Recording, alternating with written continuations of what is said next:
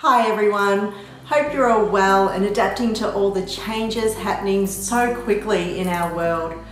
I know for me, it's very easy for my identity to get caught up in the things I do, like my role as a pastor or the director of a not-for-profit organisation, or even as a wife and mother. All these things are awesome parts of my life that I love doing, but they aren't who I am. There's an old worship song by Matt Redman called The Heart of Worship, and the first three lines say this When the music fades and all is stripped away, and I simply come. Who are we when everything is stripped back? What a great question to ask ourselves right now while there are so many changes happening because of the COVID-19 virus.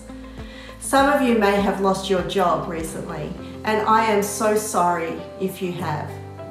Some of you who normally get your bucket filled by having a coffee with a group of women or running around a sporting field with your mates, you're not able to do that. It's so important to remember in these uncertain times when lots of things are being stripped back in our lives. Things are changing all around us and what we do is not the core of who we are. As Christians, our identity, the core of who we are, should always be embedded in our God, into the one who is never changing, who is the same yesterday, today, and forever.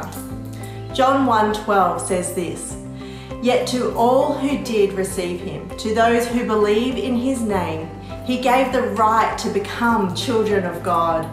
You see, we need to make a choice. We can either believe that our identity is based on what we do or believe that our identity lies in who God says we are. God's acceptance of us and hence our, our identity is not defined by our actions. So we will never be a failure when our performance doesn't match our expectations. When we realign the source of our value and worth to its rightful place, we will be free from the ridiculously high expectations we put on ourselves, the opinions of others, and the fear of failure in an ever-changing world. We can rest knowing that our Heavenly Father loves us unconditionally. And I believe once we believe this to be truth, our identity will be absolutely unshakable. So now I have a challenge for you. In the comments below, tell us your favorite I am verse, like Romans 8:17, which says, I am a joint heir with Christ, sharing his inheritance with him. Let's fill the comment section with who God says we are.